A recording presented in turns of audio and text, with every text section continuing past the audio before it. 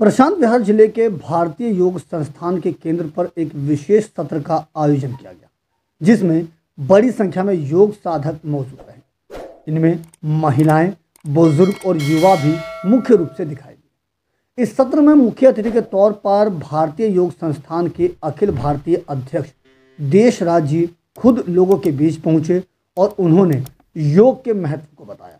साथ ही उन्होंने योग को लेकर लोगों से चर्चा भी की। अखिल भारतीय अध्यक्ष देशराज ने वृक्षारोपण करने के पश्चात कहा कि भारतीय योग संस्थान पिछले अट्ठावन वर्षों से पूरे भारत के अलग अलग शहरों में योग के केंद्र खोलकर प्रतिदिन योग की शिक्षा देकर लोगों को मानसिक, शारीरिक और आध्यात्मिक रूप से विकसित कर रहा है और उन्हें अच्छा जीवन जीने की राह पर आगे लेकर जा रहा है। साथ ही उन्होंने बताया कि भारतीय योग संस्थान का ये विश्वास है कि जब भारतीय संस्कृति का संरक्षण और संवर्धन होगा, तब तक कुछ भी संभव नहीं है और योग के द्वारा ही ये संभव है। भारतीय योग संस्थान पिछले अट्ठावन वर्षों से पूरे भारतवर्ष में भिन्न भिन्न शहरों में, गाँवों में, कस्बों में योग के केंद्र खोल करके करोड़ों लोगों को प्रतिदिन योग की शिक्षा केवल थ्योरी के रूप में नहीं, व्यवहारिक रूप में करवा करके उनको शारीरिक, मानसिक और आध्यात्मिक पक्ष उनका विकसित करते हुए उनको एक अच्छा जीवन जीने की राह पर लेकर के जा रहा है। भारतीय योग संस्थान का ये विश्वास है कि जब तक भारतीय संस्कृति का संरक्षण और संवर्धन नहीं होगा, तब तक कुछ भी संभव नहीं। और योग के द्वारा ही ये संभव है। हम हर तरह से स्वस्थ रहते हैं। जहाँ तक पौधारोपण की बात है, योग, ईश्वर और प्रकृति, ये तीनों एक दूसरे के प्रायवाची हैं।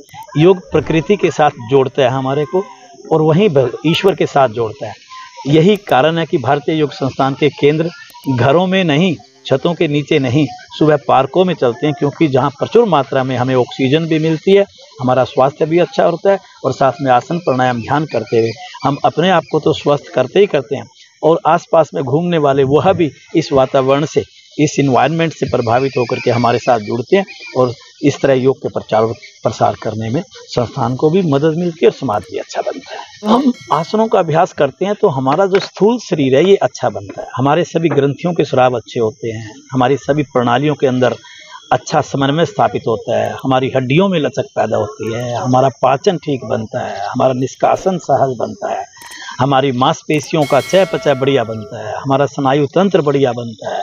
और सबसे बढ़िया बात कि हमारी प्रतिरोधक प्रणाली सक्षम बनती है। जब हमारी प्रतिरोधक प्रणाली सक्षम बनेगी तो बीमारियों से लड़ने की ताकत तो अपनी आ ही जाएगी और बीमारियों की लड़ने की ताकत नहीं। मैं तो कहूँगा कि अगर योग के मार्ग पर अगर आप चल गए तो बीमारियाँ आएँगी ही नहीं। जब नहीं आएँगी तो आप एक अच्छा और स्वस्थ जीवन जी